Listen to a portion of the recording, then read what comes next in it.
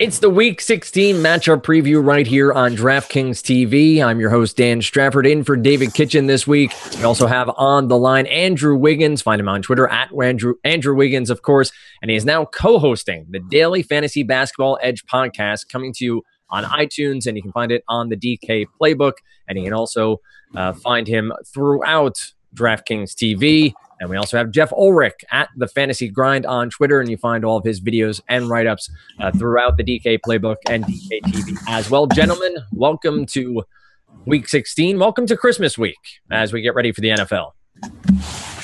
Yeah, thanks, Dan. We're uh, we're getting to the end here, but uh, we still got two weeks of the regular season to close it out in style, and I plan on doing just that. Yeah, closing out in style. It sounds good. I hope I can do that. I probably won't, but we'll see. We're gonna try. Let's not limp towards the finish line here. Let's finish strong as uh, we go with San Diego at Oakland at the top here. Uh, we saw Philip Rivers uh, send off what may have been, depending on who you talk to, the last game in San Diego for the Chargers. The whole stadium issue at large still out there, but uh, this matchup seems pretty juicy from a fantasy perspective, Geoff, where uh, we have some offensive weapons from uh, Oakland. We have Philip Rivers, who is always a possibility to explode for big numbers, even without real receiving targets on his side. I guess uh, Danny Woodhead can have uh, 40 receptions and 10 touchdowns this week. Uh, but what do you see from this matchup? And, and are you keying in on this one as part of your research heading into the weekend? Yeah, Philip Rivers is. Uh, I mean, you hit it on the head. He's he's had some big games, but in his last five games, he's been he is, he has been a little bit hit or miss. So um, he's been under ten fantasy points in three of his last five games, but then he's really he's really sort of exploded against those weaker defenses all year. The issue I have with Rivers this week is that the Raiders' pass uh, rush is really good right now, uh, and Khalil Mack is playing at an unreal level. So I'm a little bit scared that um, the Chargers are going to have a little bit of a letdown in this game that the Raiders pass rush is going to cause big problems for the Chargers pass game. So I'm not necessarily keen on Philip Rivers in this game personally. I do like Dontrelle Inman at 3,000. I think he's getting a ton of snaps right now, and just as a min price play, he makes some sense to me. He was actually in the winning lineup for the Millionaire Maker last week. Uh, and then obviously Danny Woodhead is the other real value play. He's still only 4,400. Melvin Gordon's on IR now. Uh, his snaps can only go up, and like you mentioned, he could catch eight to 10 passes in this game just out of necessity. So those are kind of two of the plays I'm keen on personally from uh, San Diego. You're not on Donald Brown, the reincarnation of uh, Donald Brown out there. Uh, we'll, Damn we'll it, Donald. Damn it, Donald. We will uh, move on to the Oakland side of the ball, Andrew. And uh, is it a Latavius Murray week if you're playing Thursday night games? I think that Latavius Murray is a great play. He's he's just underpriced for the workload that he's getting, and it's a great matchup. There's it's a really high team total for Oakland. They're sitting at 26. Uh, that's that's one of the things we want to check off. He's at home. There's box number two, and San Diego is really weak against the run. So there's box three. Uh, and, and, then when you look at his price down at 5K, I think he's got to be one of the top plays of the week uh, for someone that's getting nearly all the touches. And, and really, I like Derek Carr. Um, Mari Cooper to me is probably a guy I'll stay away from. I think he'll get shadowed by Jason Verrett, who's been very, very good this year. Uh, but that should open up some production for, for Michael Crabtree. So I, I like them. They're more tournament plays. Or Crabtree, and you could look at Cooper because uh, he's he could get open anytime for a long touchdown. Uh, but I'd probably be focusing on Carr and Latavius as, as two core plays for me this week. Andrew, sticking with you and moving on to Washington at Philadelphia. Um, some have said we've started to see the real Sam Bradford the past couple of weeks in this Chip Kelly offense. Uh, we've seen the the carousel running back for Philadelphia, and then for Washington, it's been the the Jordan Reed show. And, and Kirk Cousins has turned into over the past couple weeks a, a, good QB. It's been. I read a story that. Uh, his head coach sat him down and made him watch Tom Brady f- uh, film, and all of a sudden he knew how to quarterback. And if it's that easy, I'll sit down and watch Tom Brady film as a Jets fan. That's fine. But um, interesting to see how that worked out. But this Washington Philadelphia game seems to have some offensive implications. Uh, do you like uh, Washington at all? And would you go back to the well with Jordan Reed? Well, I think you got to be looking at Jordan Reed every single week. The targets are there. The production has certainly been there. The price is getting to the point where uh, I'm a little bit apprehensive just because he's up to 6.5K, which I mean, that, that's the highest tight end on the slate this week. So he might be a little bit more of a tournament play just based on his price. But from a production standpoint, I like him a lot this week. And there's no reason to think that he won't continue doing what he's done, which has been very good. Uh, he's probably the only guy I'm really looking at. I mean, you could you could look at Cousins in a tournament, but uh, he's the type of guy that usually with these weaker quarterbacks, I, I, try and take him at home if I can. And he's on the road. The team total, eh, you know, is 22. Uh, so I'm not getting overly excited about him, but I do like stacking him with Reed in that tournament. Uh, you don't think there will be four DeSean Jackson touchdowns, the revenge game here for for Djax, which I know he already has a few times, but it seems like everyone's picking on Chip Kelly. You might as well go to that well again. Uh, Geoff, we we move on to the other side of the ball with uh, Philadelphia. Is this the real Jordan Matthews? Has he passed the the issues he's had earlier in the year? Can we trust him as a big play threat for the Eagles at 4,400 on DraftKings? Yeah, I'm a little disappointed this game isn't on like the main slate because I, I, sort of wanted to target it more this week. Uh, Jordan Matthews is only 4,400 now. So you are getting a very talented wide receiver at a very cheap price. And uh, I would be sort of recommending him this week, especially if he was on the main slate. I'd definitely be targeting him for tournaments. Uh, he's got three touchdowns now in his last four games. And I think the biggest thing is Sam Bradford's playing better. So uh, he's a big, talented wide receiver, plays the slot a lot, great for yards after the catch. I definitely like him in this game too against the Redskins, whose secondary really isn't very good. Uh, they they give up a lot of points to the wide receiver position. Their cornerbacks aren't great. I also like Zach Ertz in this game. He's really been coming on. Those are the two main pass catching targets from Philly. Uh, they've both been playing well lately, so uh, I do like both of these games or both those players. I do like this game particularly. I wouldn't touch the Eagles' run game at all, but uh, I definitely like those two pass targets for uh, for play this week. I don't know why you want a more trustworthy search uh, situation there in Philadelphia. I mean, who, who knows what's going to happen? You only have five backs to choose from, right? So right. what could go wrong? Yeah, it's just a little roulette. Never hurt anybody. uh, running back roulette. I guess we can coin that phrase here. Uh, moving on, Andrew, to Carolina, Atlanta. Is there anything that Cam Newton can't do? Uh, we, have questioned him earlier this season. Um, a lot of analysts did saying he wasn't a top flight QB, that he was you know, doing things because of his feet. Well, yeah, he does things because of his feet, and his arm has been electric the past couple of weeks. Uh, front runner for the MVP right now, and keeping uh, the Carolina Panthers moving forward towards the playoffs. Yeah, I, I've tended to shy away from him on DraftKings because I feel like he's not a guy that's all that likely to get the bonus and uh, that's been a little silly. You, you mean part. you mean the rushing bonus, right? well, yeah, that's what I was getting to. I mean, he he got both of the bonuses last week, I believe, which uh, he did that once last year too, and that, that's pretty. Uh, maybe he came up just short. I know Russ did it last year, but man, that, that's pretty hard to do. Uh, he's been incredible.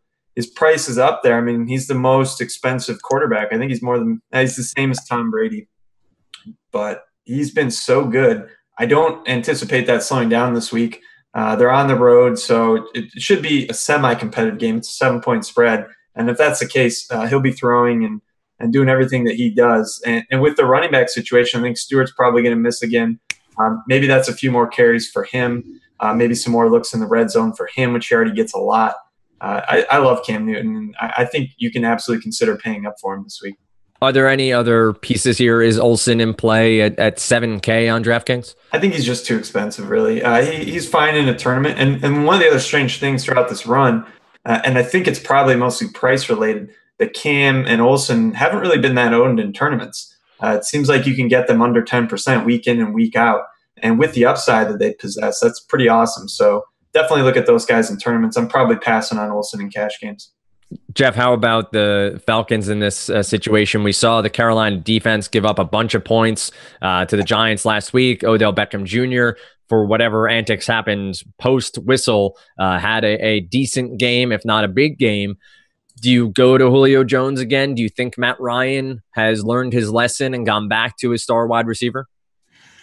I might have learned his lesson, but I mean, I, I think that the, Carolina defense is going to, it's not a good spot. I, I know that there was a, a, lot of points put up against them last week, but that was, you know, that was sort of a weird set of circumstances. The Giants got a blocked field goal. They got a couple fumbles near the goal line. I don't think that's going to happen again. And uh, I really don't like any of the Atlanta players this week, to be honest. I definitely don't like Devonta Freeman. Uh, they really haven't been running the ball lately. Freeman gets a lot of PPR points, but with the way the uh, the Panthers defense plays, I don't see him having a big game. Julio Jones, you know, I, maybe he puts up 20 points, but I just don't think that's enough at his price point. And against Josh Norman, it's not a good matchup. I'm pretty much off all the, the Falcons targets. Um, I might even consider uh, the Panthers D this week, although it's pretty pricey. So I definitely like Cam Newton. Uh, you might even think about Cameron Artis Payne, who's probably going to get some more carries this week. He's only 4,300. And like uh, like Andrew said, Greg Olsen's interesting, but he's pretty expensive now. Let's move on to San Francisco at Detroit. Geoff, uh, who do you like in this game? Maybe taking both sides. Uh, do you like what Matt Stafford has done of late? And do you see anyone on the San Francisco side of the ball worth rostering in this contest? Yeah, I'm not. I'm not super on anyone from San Francisco either. Um, they're going to be on the road to start, uh, which is not good. Uh, the Detroit defense, they've been. They've actually been better lately too. So there's just really no one on San Francisco that interests me. Even uh, Shaun Draughn has started to get his carries reduced a little bit, so he's not really that sort of value, uh, high volume target anymore. I do like the Detroit uh, offense at home. They've had a couple big games. Uh, the San Francisco defense has played really poorly on the road. So I think sort of a Matt Stafford, maybe a Golden Tate, maybe even Eric Ebron in this game is kind of interesting, and maybe even Ameer Abdullah. Um, the the San Francisco run defense isn't much better than the um, New Orleans Saints run defense. So as a sort of a GPP pick, I might think about Abdullah this week. He might have a strong finish to the year here. Let's move on to Pittsburgh at Baltimore, Andrew. And this is a game we'll, we'll, focus down on a little bit more because of all the pieces we may be able to use. Uh, first and foremost, the Pittsburgh offense going up against this Baltimore defense where you have uh, Ben and Martavis and obviously Antonio Brown, even DeAngelo Williams possibly in play. Uh, who do you like uh, on both sides of the ball here? And then, Geoff, we'll, we'll get your take on this one as well. Hey, don't sleep on Heath Miller. Uh, that's really the the thing though about the Steelers offense is that everyone is in play and they're all good plays pretty much every week. And this week in particular, 2019 total. Uh, Baltimore defense has not been good. Uh, even against the run, they've been a little bit worse as of late. So DeAngelo Williams in particular uh, is a favorite play of mine this week. The volume, uh, really, there's no one else in the league right now that's getting the volume that he's getting. He gets the looks in the red zone. Uh, when you know a guy is going to get 20 to 25 touches, he's a lock for that there's a lot of value there, uh, especially when they're big favorites. So, well, I don't love that he's on the road. I'm overlooking all that because everything else lines up really well for him. Uh, and then Antonio Brown, I mean, the guy's ridiculous. Uh, I think he's the top expensive wide receiver to look at this week. I think his ownership is going to be very high. I'd be a little careful with these guys in terms just because so how heavily owned they're going to be. But man, they're all really good plays. So uh, I also have a tough time fading them. It's, it's a tough decision this week with how to handle them. Geoff, how about from your perspective? Are, are, you all in on Pittsburgh? And do you see anybody from the Baltimore side who is worth rostering at, at a cheaper price tag? Yeah, I mean, this is definitely the matchup most people are going to be keying on. Um, uh, it's not that I'm not all in on Pittsburgh because I think for cash games, you want some exposure. Uh, it's just really a matter of choosing. And I think, like Andrew said, there's a really good chance DeAngelo Williams could bounce back here with a big game. Uh, they're going to be up and I know Pittsburgh likes to throw a lot, but once they get up two or three scores, they're going to be giving DeAngelo Williams more carries. Um, I think that he's probably going to be the lesser owned of Antonio Brown and even Martavis Bryant. So if you're thinking about those big three, he might be the play, uh, especially for tournaments, I'd use more of. Uh, it's not to say Antonio Brown isn't going to have a good game because he is. It's just a matter of if he's going to get 25 points or 40 points. Um, but it, yeah, it's kind of tough because those guys are going to be higher owned for tournaments. So uh, I, I, just really think that you need to decide, you know, do you want to go all in on it and just go all out, or do you want to just sort of, you know, pick and choose and say maybe I can pick this player over another. But as far as uh, Baltimore goes, you know, Buck Allen's going to be getting more of the workload. He's he's been a really good PPR play in past weeks. He had a horrible game last week, fumbled. I still think he's kind of in play in this game. I wouldn't be shocked if he bounced back here with a big PPR game because Baltimore's going to be down uh, they, they, like to throw conservatively. They don't have a good quarterback, so uh, he could definitely bounce back. And then also Kamar Aiken getting a lot of targets. I'm not a huge fan, but they're going to be down. The Pittsburgh secondary isn't great against wide receivers. Let's keep uh, the ball rolling here towards Chicago at Tampa Bay. Andrew, uh, a matchup that uh, once again we see Alshon Jeffery listed uh, as on the injury list, and that is pretty much if if the season is active, we know that will be the case. Uh, but uh, what do you see here? Do you see a, a top flight matchup that you can exploit, or are you staying away from this game?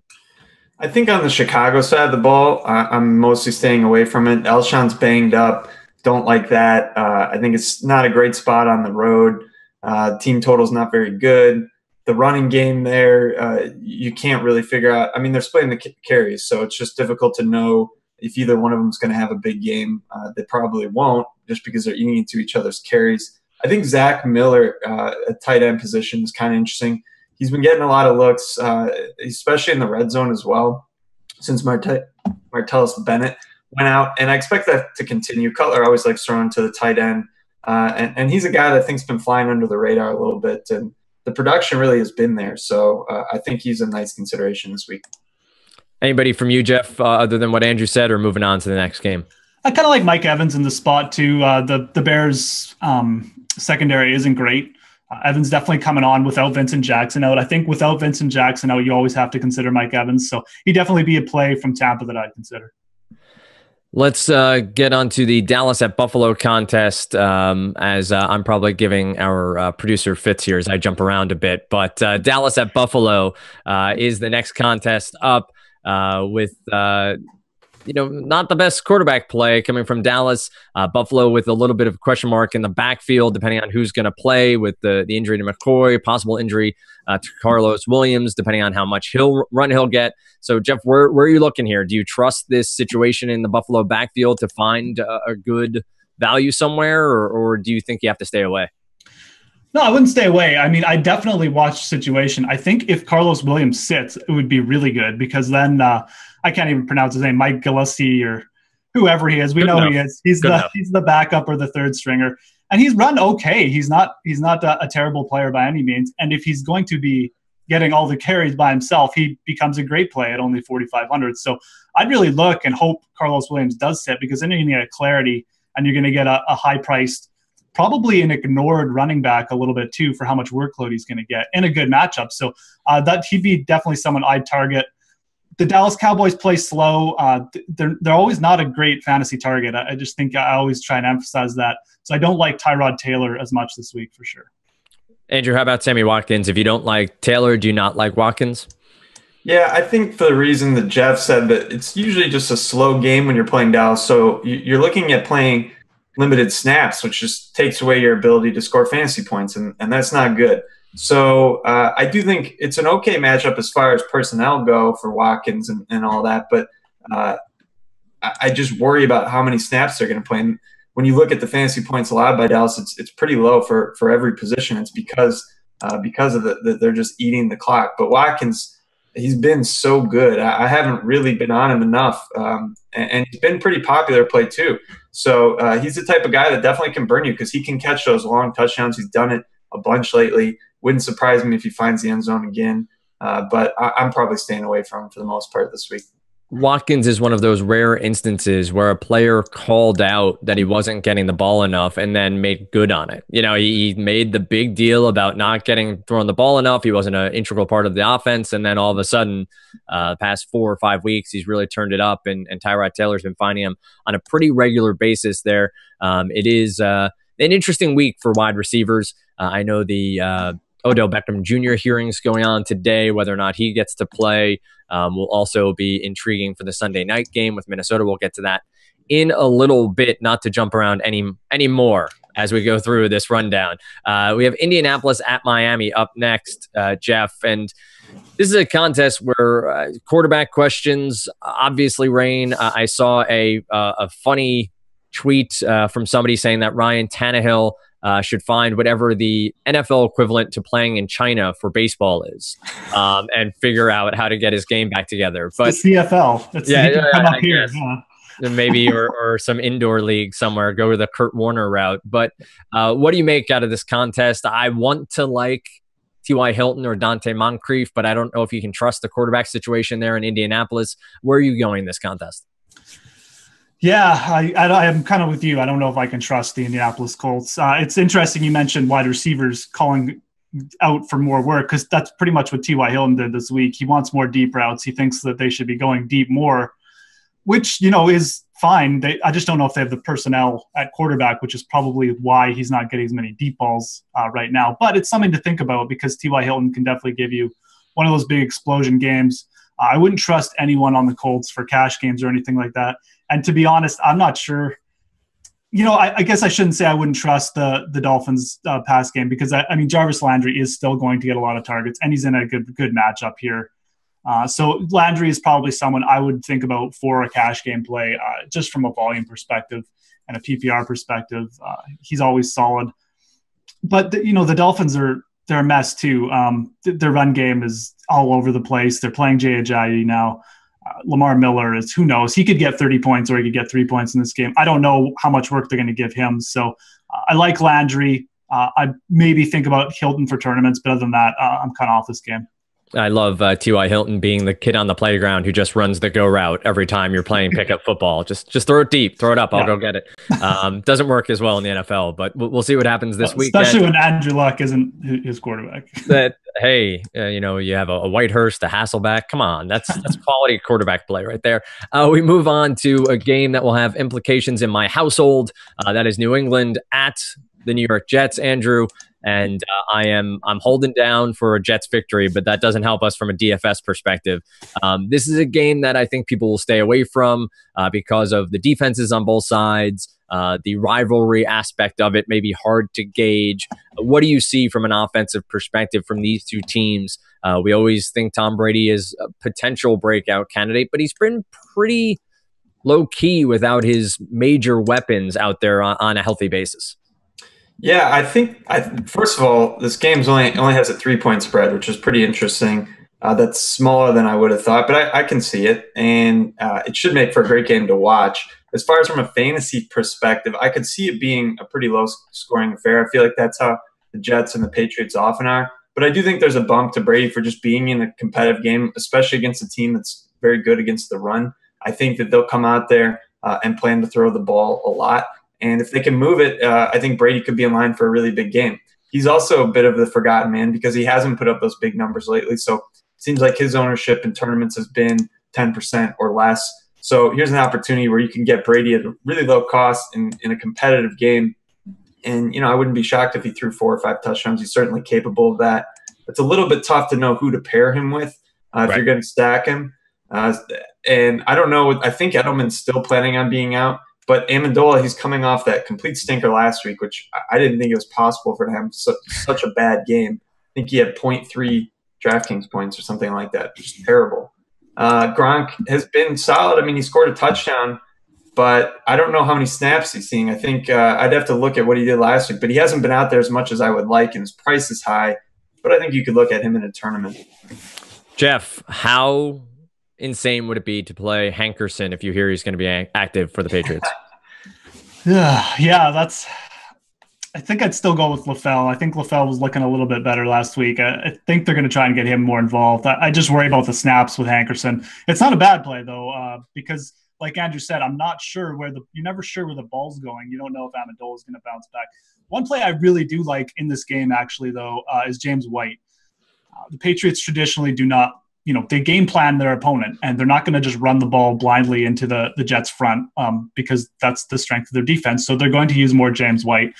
I wouldn't be shocked if Brady threw 50 times either. I kind of like this game a little bit as a sneaky tournament play. I hope it is under owned. And I don't even mind some of the Jets. I really think Bilal Powell's in a good spot. I don't think that uh, Chris Ivory's going to have a big game. The Patriots' run D is pretty good too. Uh, Brandon Marshall, I, I, feel like, is able to get open against anyone. So I think he's still an okay play in this game. But, uh, you know, the Jets have been able to move the ball with the pass too. So I think Bilal Powell's in play and I think Brandon Marshall's in play. I like both sides of this game. And we know that Eric Decker just catches touchdowns, and, and touchdowns are, are points on DraftKings. Yeah, so he we'll just gets he just gets eighteen to twenty two points every week, so that's not bad either. Uh, we move on, Geoff, to Houston at Tennessee. Um, this is another game where quarterback play is going to be a major question mark with injuries. Um, I think Houston's on what their 15th quarterback of the year. Obviously, a little bit of hyperbole there, but uh, it sure does feel like it for the Texans and Tennessee uh, with Mariota out. Uh, is this one to to sort of say hi to while watching on Red Zone and, and keep moving on? Yeah, this is the not game of the week. This is just you know Tennessee's uh, secondary hasn't been good, so I I guess you always have to think about DeAndre Hopkins, but I really don't like the way things have been going for him, uh, just because the Houston's been playing more conservative lately. Uh, they've been sitting on teams with their defense. They're playing a little bit slower. Uh, I, I, would, yeah, I mean, I really, I just stay away from this game. You don't even know who the quarterback's going to be yet. There's really no value uh, anywhere else for me. Tennessee, I love Delanie Walker. again, this game could just be a little bit ugly. He'll probably still get like six catches, 80 yards, and maybe find a touchdown, but it's just not the greatest game. Uh, I'm just going to pretty much avoid this one. Andrew, let's move on to, to our next game here on this slate, which is Cleveland at Kansas City. Uh, feels like a good week to pay up for defense with the Kansas City defense playing so well week over week, and Cleveland uh, being turnover prone and, and, question marks on their offense. Uh, who do you like here? Uh, do you even go to the other side of the ball and target somebody like uh, Jeremy Maclin or even wait for for the final coming of, of Travis Kelce this year? Yeah, so Maclin has been really good lately. My concern with him is just that it's not a high volume offense. They've thrown the ball, I think, 22, 23, 25 times in the last three weeks, which is just not a lot. Even with Maclin getting around 40% of the targets, uh, you know, it, it's solid, but his price has come up some. I just wish that I knew they would be throwing the ball more. And I think this will be another week where there's a lot of running. That being said, I still think Maclin's a pretty decent play. Uh, Alex Smith, I think, is one of the top cash game quarterback plays. I don't know how much upside he has, but he's awfully safe. He's been really solid. He he's gone a little under the radar as far as how solid he's been as a fantasy quarterback this year. And it's just a great spot for him at home, 2017 total against a bad Cleveland defense. So uh, I, I, might spend that extra hundred bucks for Fitzpatrick because I think there's some more upside there. But Alex Smith is a very viable quarterback play this week. Geoff, uh, Kansas City running backs. We had a uh, West with the, the bulk of the carries. Ware was active but didn't get in the contest. West's price tag jumps up to 5,700 uh, in this game. Do you still like, uh, as Andrew's describing it, being a low pass volume, a high run volume for, for West here, and a, a good play at 5,700? Not at 5,700, just because uh, Spencer Ware is probably going to play more this week. Now, that being said, if injury news comes out and he's limited again, yeah, I probably would consider Charcandrick West because uh, there's a good chance he, he could have a multi touchdown game. But uh, if, if they're both involved, no, that's just too expensive for me. I hate uh, when carries get split and then you're guessing, and Ware is really more of the goal line back too. So you're probably going to get a touchdown vultured. Uh, for me, he's just too expensive if they're both active.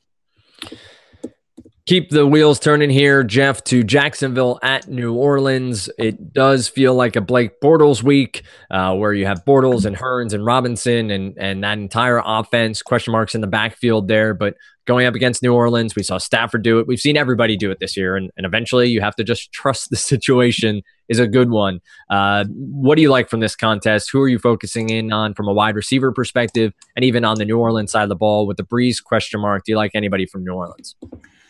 Yeah, I mean, this is another one of those games where you like everyone, I think, from Jacksonville to some degree. So uh, I think Blake Bortles does make for a pretty safe play this week. And I'm not a big Blake Bortles fan. So, uh, it, you know, for me to say that, it, it, he really is probably a safe play this week. Um, I really like Julius Thomas in this matchup. I like targeting tight ends, especially against New Orleans. Uh, you know, we're, well, it's tough to say whoever Brandon Browner is covering is probably going to be a good target too. So you're going to have to catch that. But uh, I really like Julius Thomas. Uh, he's been getting, he led them in uh, receiving uh, catches and yards last week. So he's getting a lot of looks from Blake Bortles. In the red zone, he's getting a lot of looks too. I think there's definitely potential. He catches at least one touchdown in this game. I really like him as the main target for me from uh, that Jacksonville passing attack. And Andrew, from a, a, New Orleans perspective, we have Brees questionable. Uh, we'll see what comes of that next. But uh, would you roster a Cooks or or a Ben Watson uh, if uh, Brees is healthy? Yeah, well, I think even if he does play, he's not going to be healthy. Uh, he's got a, he tore something in his foot, so he wants to finish out the year. But it might be something that that hurts his efficiency. So I think there's a concern there. Either way, certainly if Brees is not playing, I, I, don't think I'm really looking at any of these guys. But if he does go, uh, you could give Cooks a look. He's been very good lately, uh, more of what we thought he would be coming into the year uh, after a really slow start. And I think his price is still pretty solid down at 5.9K. Um, the, the, guy, too, who is just no one really ever talks about, but just week in and week out, uh, he, he's had solid production is Ben Watson. I think, you know, when you, when you consider he's $200 more than Julius Thomas, who, for the reasons that Geoff said, I, I really like Julius Thomas a lot this week. I'm probably looking at him, but but Watson could be a really interesting tournament pivot uh, because uh, he, he just kind of never gets the, the respect that he deserves here.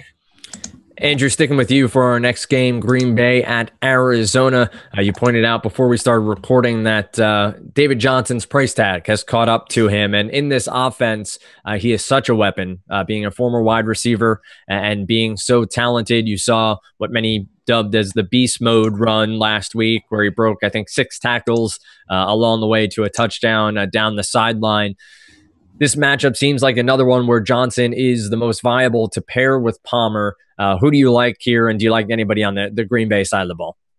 Yeah, I mean it's a little unfortunate because it was the night game that they played, so I think the salaries had already been posted. But uh, he, he was already underpriced last week, regardless of what he did, and of course he put up almost 50 fantasy points, and his price only went up $100. So he's kind of the free square pick of the week. I think uh, you'd be kind of crazy to not have him on your team with the way that he's played. I think he's an awesome fit for that offense. The running the ball more, and, and he's been just really effective. So I'll be locking him in for sure. You can maybe consider fading him in some tournaments just because he's going to be so heavily owned. But uh, I don't know. It's, it, it's a good spot for him. Uh, but you know the problem is when he's having a really big game like that, it, it's going to take away from the right. receivers from Carson Palmer. I, I really liked Palmer last week. And I think he was a little unlucky because John Brown dropped two balls that could have been touchdowns, and that might have shifted the landscape a bit. But you know, it is what it is, and, and you have to be worried about David Johnson from here on out if you're owning the pass catchers or Carson Palmer. So I do think there are some good plays in there, but trying to figure, you know, they're just all still a little underpriced. Michael Floyd at 4.9 uh, in particular, but th- th- there is some risk there, so keep that in mind. Geoff, on the other side of the ball, there's no reason to test this Arizona defense with anybody from the Packers, is there? Eh, I, you know, I really liked Randall Cobb last week, and I, I don't know, maybe I just like am a moth to a flame with him, but I just keep thinking at some point he's going to have that big game, and uh, he's not going to see Patrick Peterson much in this game because he does play from the slot. So, you know, this game has a big point total. I think you're probably going to see Green Bay behind at some point, and Aaron Rodgers is still the quarterback. So, uh, I really like the point total in this game. It's almost 50. I think that maybe a sneaky play there is to target uh, like a Randall Cobb and an Aaron Rodgers, especially for tournaments. I do like this game a lot. I think uh, I think it might be a little bit less owned too, just because of what Andrew said about Carson Palmer being a bit of a dud last week. I think maybe a Carson Palmer, Larry Fitzgerald stack is really sneaky too. So I, I definitely like this game for fantasy. It's always fun discussing uh, fantasy with my five year old. She goes to a, a, school called Fitzgerald Elementary. So Larry Fitzgerald is always a top play in her mind. So it, it works out sometimes. Um, but nonetheless, we move she on. She had a good start to the year, right? Yes, she did, both in school and uh, in fantasy. uh, we can uh, move on to the next contest, uh, which is St. Louis at Seattle, Geoff. Russell Wilson, Doug Baldwin, defying logic at this point. Um, we're all waiting for the regression to set in there, but Doug Baldwin keeps catching touchdowns. Russell Wilson keeps throwing them uh, and has been very efficient and very good at keeping the ball away from the opposing team. St. Louis has been a good defense on the year, not nothing electric, but very solid in the secondary, very solid across the board for the most part. Um, do you like anybody from Seattle this week, or is this another game that maybe we can enjoy watching from an NFL perspective and stay away from from a daily fantasy one?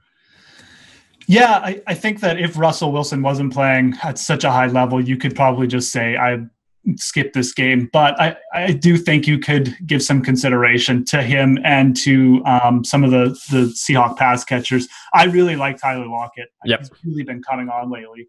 Uh, I think that eventually teams have to start shifting coverage over to Doug Baldwin because I mean, how many touchdowns can you let him score before you start doubling him or something near the red zone? So I think that will benefit Lockett too. I think you could see a big game from him, maybe even this week, uh, maybe week 17. But um, yeah, I think that Tyler Lockett's an interesting tournament play. He's still cheap too, so uh, that might be someone I'd consider. Otherwise, I'm definitely not considering anyone from uh, St. Louis in this game. But uh, I think Wilson still makes for a good tournament play, especially if his ownership's a little bit lower this week, which it should be.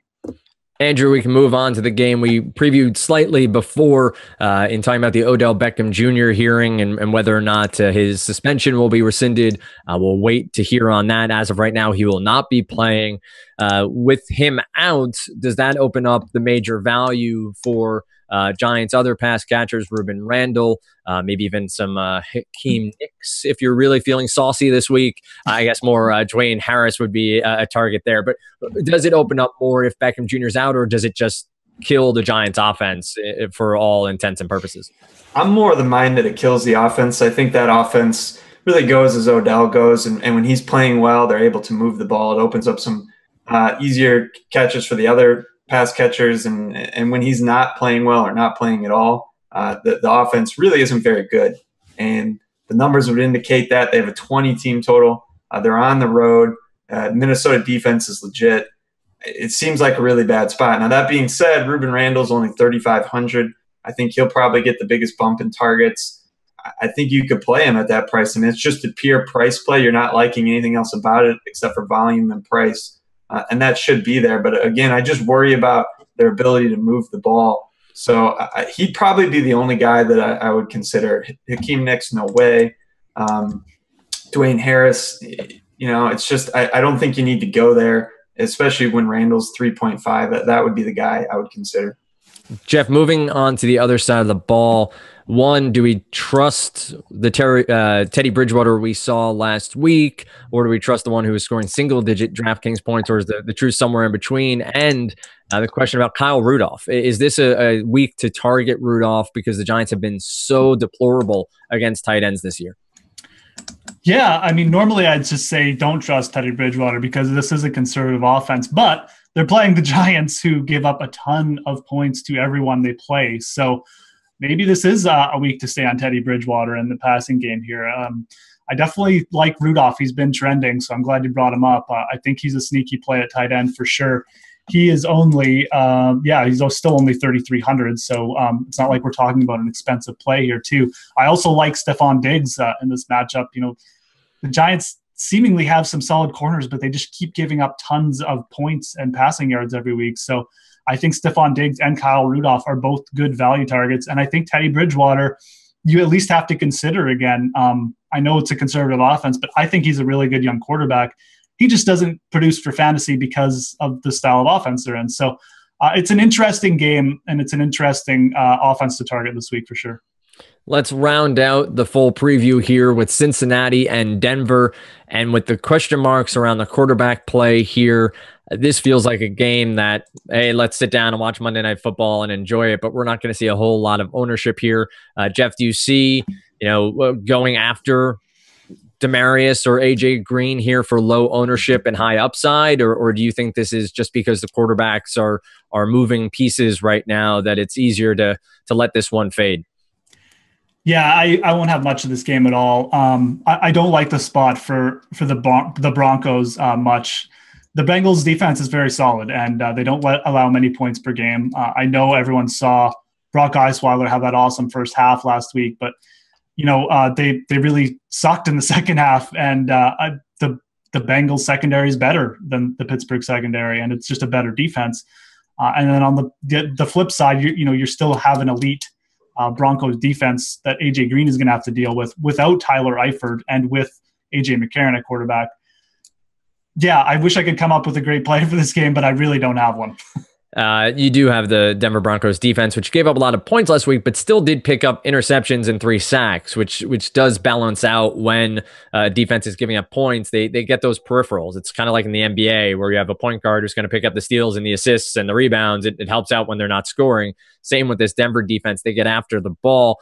Uh, Andrew, I, I'm going to put it to you here: Tyler Kroft, player play of the week, right? I mean, that's the the play of the week right there for for Mr. Kroft, Rutgers alum.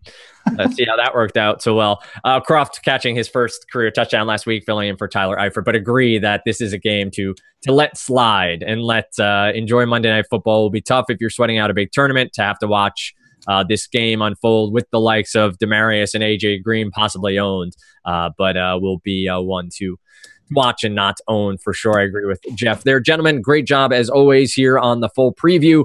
Uh, we wish you a Merry Christmas, Happy Holidays. Uh, enjoy the time. Uh, this preview gets out to you guys early here so you can enjoy the time as well and enjoy your NFL weekend. You can find all sorts of goodies on DraftKings TV and also over there on the DK Playbook as well. So for Geoff and Andrew, this is Dan saying happy holidays, and we'll see you next time right here on the DraftKings TV Week 16 preview show.